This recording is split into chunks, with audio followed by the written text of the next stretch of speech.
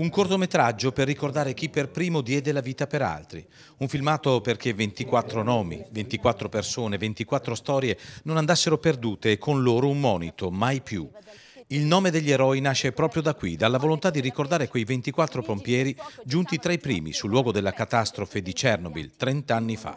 Non sono nuovi ed esperienze come questa Carlo Saletti, regista teatrale, storico, e Roberto Solieri, che con l'associazione Crea di Custoza portano avanti un'importante opera di memoria di pezzi della nostra storia. Se non fosse per i ragazzini che arrivano qui con le varie associazioni, noi Chernobyl l'avremmo proprio rimosso. Sì, l'Europa ha rimosso Chernobyl assolutamente, il più grande disastro non solo del nucleare del Novecento che ha rischiato di mandare a rotoli l'Europa, una buona parte d'Europa, che ha mandato a rotoli una eh, parte molto consistente dell'attuale territorio bielorusso e che l'ha reso inabitabile per i prossimi 10.000 anni e questo è successo anche in Ucraina e questo è stato Chernobyl. Come nasce un filmato come questo?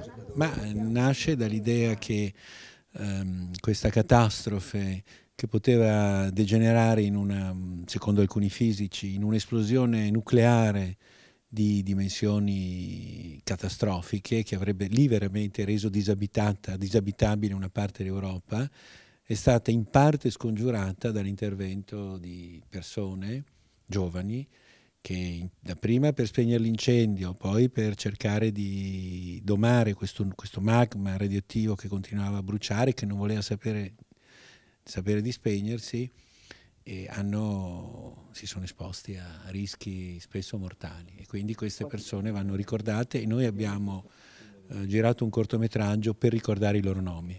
Per ricordare il disastro nucleare di Chernobyl di 30 anni fa, la CREA ha coinvolto anche due associazioni che ogni anno ospitano i bambini provenienti dalle zone contaminate per vacanze di risanamento e con loro promosso tutta una serie di iniziative che, a partire dalla data del 26 aprile, ripercorrono le vicende legate all'incidente e alle sue ripercussioni. Da storico possiamo dire che la storia insegna, ma noi facciamo fatica ad imparare. Ma io penso, sono d'accordo, sì, la storia è una buona maestra e siamo noi forse cattivi allievi. Da questo punto di vista quanto è importante oggi usare l'arte, usare strumenti che la tecnologia ci mette a disposizione per arrivare anche là dove difficilmente si può arrivare, quindi ad un pubblico più generale possibile?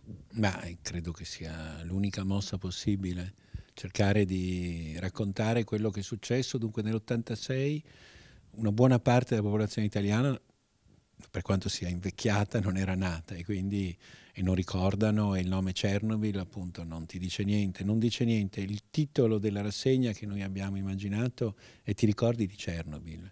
E non è una domanda provocatoria, ma sappiamo che la maggior parte delle persone dirà no, Chernobyl.